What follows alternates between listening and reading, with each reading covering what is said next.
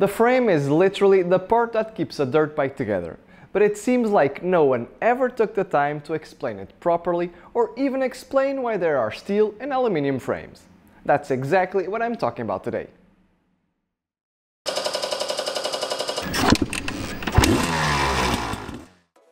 Before we get into the pros and cons of steel and aluminium frames, we first have to understand what manufacturers expect of the frame.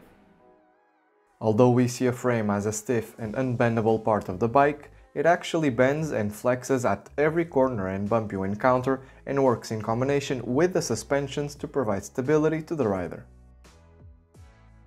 There are three kinds of stiffness that greatly affect the performance of a dirt bike and are really important to understand. Lateral, torsional and longitudinal. Let's take a look at each one. Longitudinal stiffness affects the way the frame flexes from front to back and has the greatest influence on how much the rider will feel the vertical inputs of the terrain. If the frame has little longitudinal stiffness, the rider won't be able to get a good feeling from the front wheel and the bike will feel uneven during braking or on a whoop section. This happens because the frame will absorb part of the inputs transmitted by the suspensions. Ideally, the longitudinal stiffness should be as high as possible to concentrate all damping on the suspensions instead of the frame. A suspension is easily tunable, but a frame isn't. Torsional stiffness affects the way the frame flexes from top to bottom and greatly affects how nimble a bike feels. If a frame has little torsional stiffness, when trying to change direction, the rider will feel the bike as a big boat instead of a fast and sharp turning go-kart.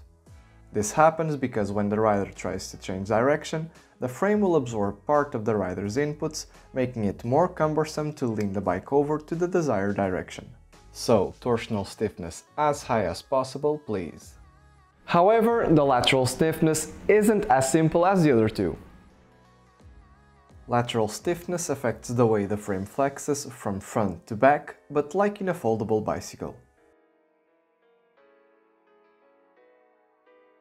This stiffness has a huge impact on how comfortable and stable a bike feels while cornering since there's no suspension travel available to absorb the bumps. A frame with really high lateral stiffness will suit motocross and supercross since the dirt is relatively even compared to off-road, where every little rock and root can deflect the bike. If a frame has less lateral stiffness, it will be more suited for off-road, since the frame will be able to use its elastic properties to more easily absorb small rocks, thus keeping the wheels planted and keeping the rider stable. For supercross, the rider might lose some feeling from the wheels since the frame will absorb part of the inputs. That's why enduro manufacturers tend to choose steel frames, while motocross manufacturers usually choose aluminium frames. And how do manufacturers change the stiffness of a frame? There are two ways of doing it. The simplest option is to add more material on specific areas of the frame, such as reinforcement plates or simply increasing the thickness of the parts. The second option is to use shape factors to increase the stiffness without necessarily increasing the overall weight. The benefits of a shape factor are quite easy to understand. A flat beam is relatively easy to bend. However, a U-beam is unbelievably harder to bend for the same dimensions. It's not surprising that you can spot the same U-beams on aluminium frames.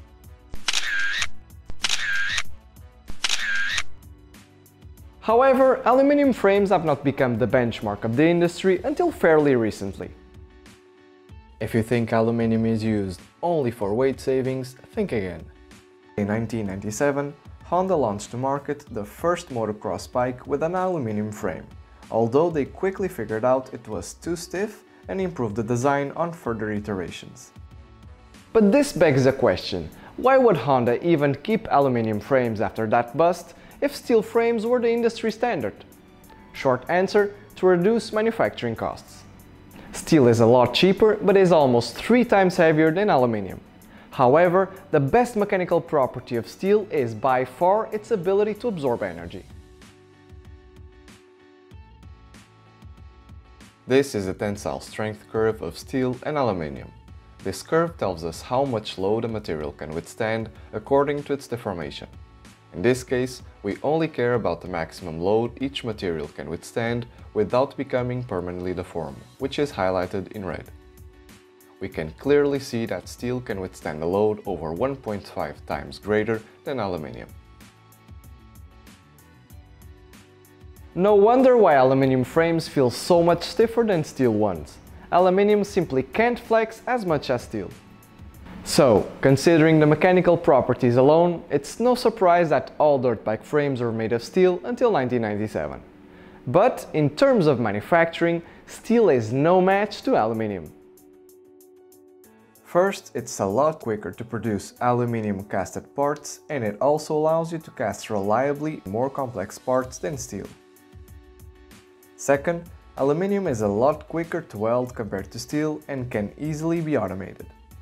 Third, aluminium is unbelievably quicker and easier to machine compared to steel. And lastly, usually steel is only cheap if bought in standardized shapes, such as tubes, rods and sheets. And from an R&D standpoint, every change the engineers make can have a huge impact on the factory floor and the end consumer. With aluminium frames, engineers only have to change the cast mold of one of the handful casted pieces of the frame and keep the manufacturing process exactly the same. On a steel frame, every added reinforcement, such as tubes or plates, will increase the manufacturing time of every frame, increasing costs. That's why all Japanese manufacturers shifted to aluminium. They could reduce the manufacturing time of a frame while also increasing the quality control. The cherries on top. The hardening treatment of aluminium frames happens at ambient temperature while the bikes are being shipped across the world and don't require any surface treatments. Steel frames, on the other hand, not only need time-consuming surface treatments before the paint jobs, but can also require heat treatments. Don't get me wrong, a well-designed steel frame can be as stiff as an aluminium one. And even if you use every shape factor from the engineering book on an aluminium frame, in certain circumstances, such as in off-road, nothing beats the spring-like behavior and forgiving nature of a steel frame. If this wasn't true, a bike with a steel frame would never stand on the podium of an Enduro GP, MXGP or Supercross race. Knowledge is power. Hope you liked it, don't forget to subscribe and if you have any questions, leave them on the comments below. Thank you for watching.